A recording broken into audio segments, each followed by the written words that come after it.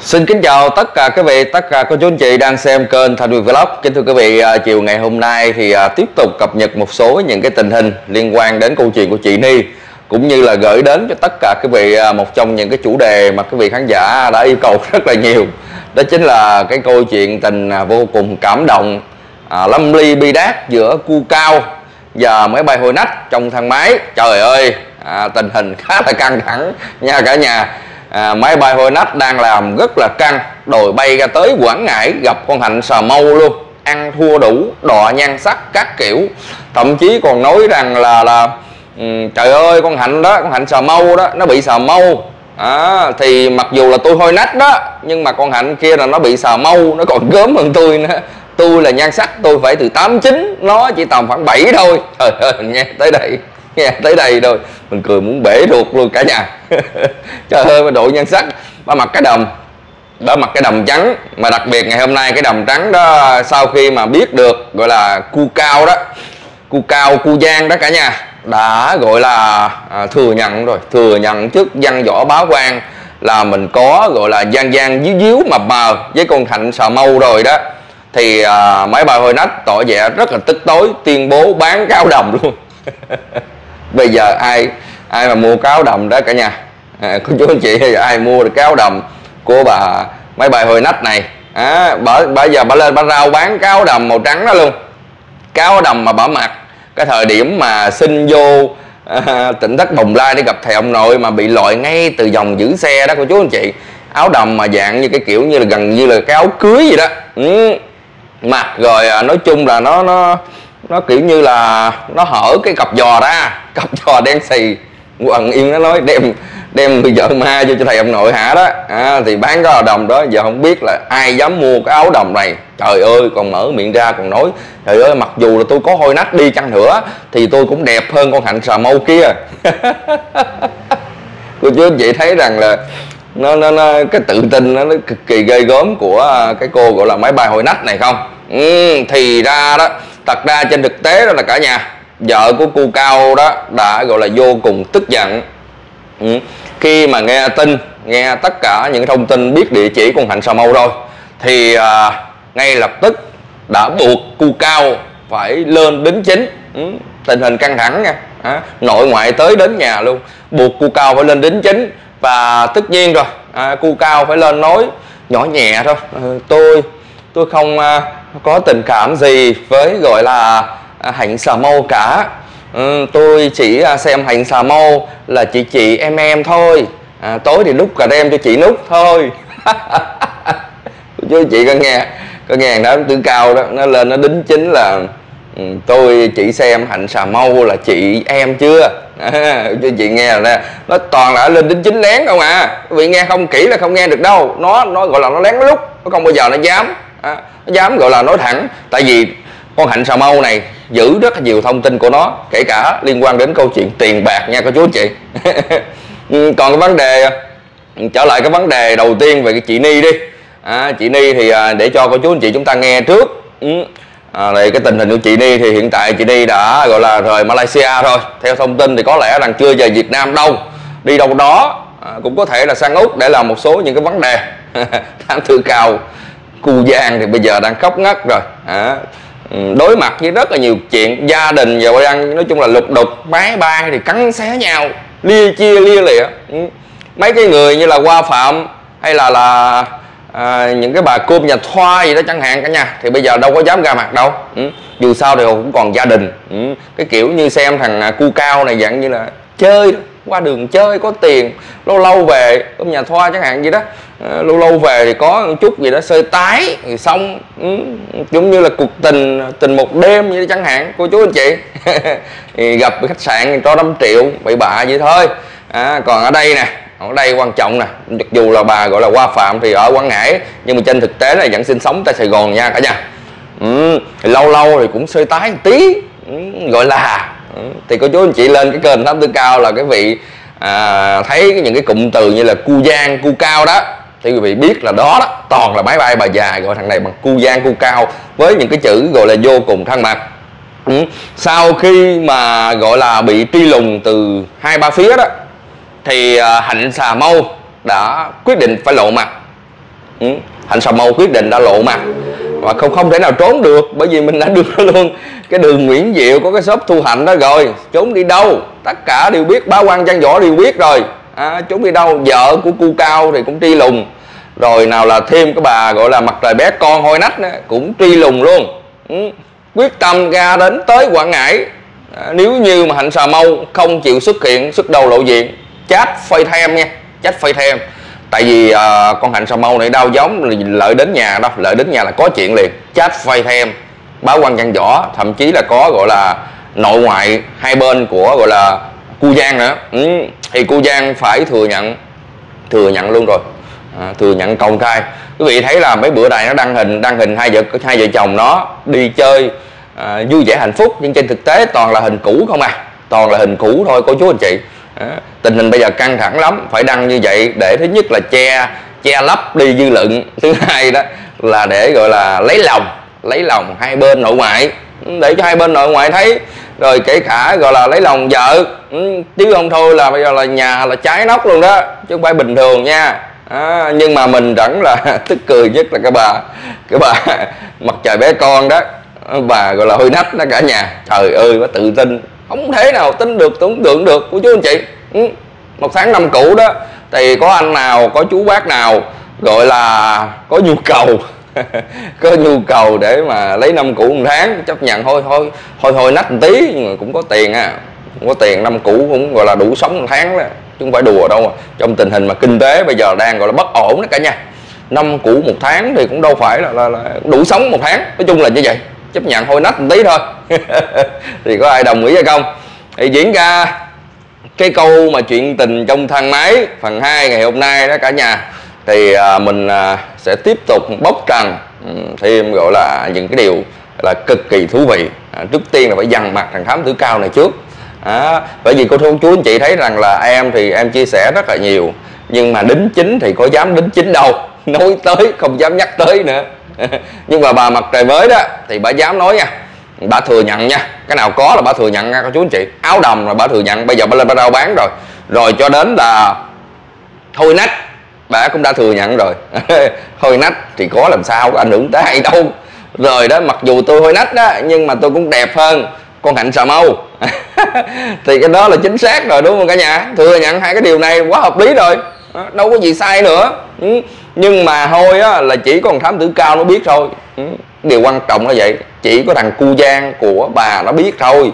Nhưng mà nó đi về nó kể thì tôi nói với bà ờ, thì à, bà nghĩ rằng à, nó gọi là nó nó nó, nó thật sự đó nó đến với bà vì sắc đẹp hay sao? Bà còn tự tin bà nói trời ơi tôi vậy thì có khi thám tử cao tôi vậy thì à, tôi đẹp vậy thì thám tử cao nó gọi là nó cũng mê đúng rồi. À, bà quá tự tin với nhan sắc của mình. Nói với bà nếu mà thật sự nó có đến với bà đó chỉ là lợi dụng bà thôi. Bà không có một tháng năm cũ coi. Nó đến với bà không? Cái vấn đề trong thang máy đó của chú anh chị. Thì à, à, chúng ta thấy à, cũng có những cái hình ảnh thôi. À, những cái hình ảnh của hai đối tượng này trong siêu thị. Thì như mình đã chia sẻ đó ngày hôm đó thì à, cu giang đang chở con của mình lên bệnh viện nhi đồng 2 để à, nhập viện. Mà nói về tình hình bệnh thì chung là vô cùng căng thẳng. Hai đứa con không lẽ mà ở đây mình khuyên nó luôn đó cô chú anh chị? Hai đứa con thằng cu giang này nói chung là bệnh nặng cực kỳ. À, mình trong drama đó thì mình cũng không muốn lôi những đứa nhỏ vô nhưng mà nhìn mấy đứa nhỏ à, vô cùng tội nghiệp. Ừ, cha thì đi tạo nghiệp con thì chung là hứng rất nhiều những cái bệnh tật mà toàn là những cái bệnh tật gọi là hiểm nghèo hay không à? Toàn những cái bệnh bệnh hiểm nghèo trị không hết trong đó có cái bệnh tan máu. Ừ. bệnh tan máu. À, bệnh tan máu giống như những đứa trẻ bên trong thiền am và vũ trụ luôn có chú anh chị. Mà nguyên nhân đó thì 25 phần trăm là có yếu tố lụm lo nha. Tan máu đó. Ừ. theo à, ý kiến chuyên gia của bác sĩ nhận định chuyên khoa thì à, cái bệnh tan máu này à, nó có 25% là à, lụm lo. Giống như bên trong thì hàm vũ trụ mình thì mình cũng không có đi sâu về cái câu chuyện này. Thì đó là cái thông tin chính xác về những cái tình hình bệnh tật. Ừ, cho nên mình cũng muốn khuyên chân thành đó mày bớt tạo nghiệp lại đi cu giang. Ừ, bớt tạo nghiệp đi. Đó. Kiếm một cái phước gì đó đi làm từ thiện đó thì nên gọi là là là phát tâm tí. À, người ta gửi bao nhiêu thì làm nhiêu thôi. À, đừng có ăn xén ăn bớt nè. Đó còn cái hàng mình bán đó ừ, nghe cu giang thì mình nói là mình bán để mình kiếm cơm. Đồng ý khán giả mua ủng hộ. Chứ đừng có lên giả tạo. Nói là ừ tôi bán tôi làm từ thiện. Vân vân. Còn cái câu chuyện mà tiền của người à, câu chuyện của người ta đó trong drama chẳng hạn ví dụ như người ta không có cho mình bán hàng nữa thì mình cũng tự động mình đi bán hàng mình làm youtube mình kiếm tiền đi. Kiếm tiền trên Ừ, gọi là, là là kênh sức lực của thật sự của mình đi. Đừng có ủ mưu bài trò mưu tính kế này. mày biết tại sao mày bị điếc một lỗ tai không tám tư cao? Mày nhớ lại đi. Ừ? mày nhớ lại tại sao mày bị điếc một lỗ tai hay không? Ừ. nếu mày thật sự không muốn nhắc đó thì tao nhắc cho mày nhớ. Mày bị điếc một lỗ tai mà mày đó đêm mày ngủ mày còn mơ mày còn giật mình. Giống như làm câu chuyện ác đó cô chú anh chị. Làm chuyện ác nó ngủ nó mơ nó bị tâm lý chữa không hết được chữa không hết được nha cả nhà. Mặc dù đã chữa trị khắp nơi, nhưng mà cái lỗ tai đó mới đầu chỉ bị ù rồi nhưng mà không chữa hoài không hết. Bởi vì sao? Bởi vì bác sĩ người ta người ta nói á, nếu như nguyên nhân nó xảy ra từ một cái vấn đề khác đó, thì người ta có thể cho thuốc hay cho này cho kia uống, nó điều trị nó hết. Nhưng mà cái nguyên nhân nghĩ ra ù tai của nó là xuất phát từ tâm lý. Ừ. Cô chú anh chị thử nghĩ coi tối ngủ mà còn mớ giật mình hoảng loạn. Trời ơi hết hồn sợ sệt à, xảy ra ù tai cho nên người ta không thể điều trị được. Mà nếu điều trị phải điều trị bằng tâm lý trước ừ. cho nên bây giờ nó đã điếc một bên tay rồi. Ừ. mày có điếc lỗ tai không? Tám tư cao. Mày bị điếc một lỗ tai đúng không? À. thì nó bị điếc một lỗ tai rồi nhưng cô chú anh chị. À, vì cái vấn đề tâm lý tại vì sao? Tối nó ngủ nó mơ nó la nó mê nó sẵn nó sợ ở tù đúng không tám tư cao? Ừ. Đúng không? Hả? Vì cái câu chuyện của bà Nguyễn Phương Hằng, câu chuyện có câu chuyện của bà Nguyễn Phương Hằng, mày với thằng luật sư, bá dơ của mày á. Ừ. Bây giờ vẫn còn ám ảnh, đúng không? Chưa đâu, bà về rồi, bà chuẩn bị về rồi, hai tháng 9 nè, ta lên đại nam nè. Nha thám tử cao ừ. nó bị điếc một lỗ tai gì nó bị ám ảnh đức vô cùng sợ sệt lo lót chạy trọt à, liên hệ khắp nơi để mà gọi là tìm đến luật sư hồ nguyên lễ. Uhm. kể có con đinh lan cũng vậy. Luật sư hồ nguyên lễ nói như đinh lan thì sao đúng không? Như biết không thắng tư cao? Chắc có lẽ mày cũng nghe rồi. Đó là cái câu chuyện của thân chủ tôi. Luật sư lễ nói nha cả nhà. Ừ. tôi cũng chỉ là người làm thuê thôi. Ừ. đó là cái câu chuyện của thân chủ. Các anh chị muốn gì đó gặp trực tiếp thân chủ của tôi. tự cao. Tám tự cao về mất ăn mất ngủ điếc một bên tay luôn cô chú anh chị. Nhưng bây giờ vẫn lên láo sượt để mà kiếm tiền. Thật ra đó nói đến cái câu chuyện nó kiếm tiền bất chấp đó cả nhà. Thì à, còn rất nhiều những cái, cái cái cái vấn đề để mình nói. Nhưng mà hiện tại trong cái vấn đề của tỉnh thất bồng lai thì nó chưa xong. À, bởi vì liên quan đến thằng luật sư bá dơ của nó nữa nha hai thằng này nó kết hợp à, thằng luật sư bá dơ của nó đó, luật sư ngủ quên là luật sư kha đó, tao gọi thẳng tên luôn nè. Đó. Tụi mày đi dập vi bằng, vi bó gì đó, kiện đi. Thằng luật sư ca đó, hai thằng mày đó. Ừ. thằng đó từng trước đó từng làm viện kiểm sát. Thưa cô chú anh chị, tại sao nghĩ quý vị đặt ra cái vấn đề thằng luật sư đó, tại sao nghĩ vậy? Làm viện kiểm sát ngon hơn hay làm luật sư ngon hơn? Cả nhà, tại sao nghĩ vậy? Phải là bị đuổi không? Có phải không? Tại sao tại sao nghĩ làm viện kiểm sát ngon hơn hay là làm luật sư ngon hơn, thưa quý vị? Ừ. nhưng mà cho đến thời điểm này á, thì á, mình thấy rằng nó làm luật sư lại ngon hơn nha. Ừ. Hơn cái chỗ nào? Tại vì luật sư mà luật sư dơ đó, cô chú anh chị. Vì tiền có thể bán rẻ tất cả, thậm chí đưa thông tin thân chủ của mình lên đưa cái này nội dung kia xỏ lá ba que á, thì tất nhiên nó sẽ có nhiều tiền hơn làm bị kiểm sát rồi á, mà lương công chức nhà nước thì đâu có bao nhiêu đúng không cô chú anh chị nhưng mà làm viện kiểm sát đó thì chúng ta biết rằng cái uy tín rất là cao hơn mấy luật sư ừ. luật sư đâu có bằng viện kiểm sát thậm chí cơ quan cao nhất gọi là là tư pháp ừ. từ tòa án trở xuống thì không bằng bao giờ viện kiểm sát cơ quan điều tra thì cũng không bằng viện kiểm sát nha cô chú anh chị. À, tại sao một thằng làm viện kiểm sát nó lại chấp nhận nghỉ đi làm luật sư?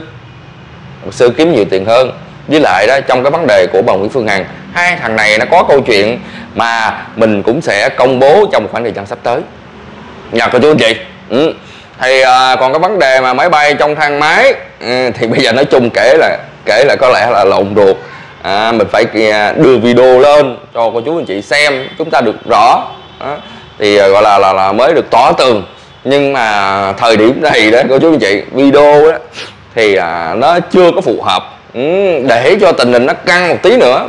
Ừ, vợ chồng nó xử lý xong mọi việc rồi thậm chí là nó để cho nó gọi là là có một cái gì đó đắp rã à, hoặc là gọi là là là dãy dụa trong khoảng thời gian này. Sơ sơ cái câu chuyện mà nghe bây giờ bà rao bán cái áo đầm rồi đó à, rồi nói rằng trời ơi tôi có hơi nách một tí thì tôi cũng vẫn hơn con thu hoạch sò mâu à, thu hoạch sò mâu bây giờ nói rằng là hạnh sò mâu năn nỉ. Hạnh sò mâu năn nỉ nha cả nhà. Trời ơi chị ơi em ờ, lúc đó em mới sinh con.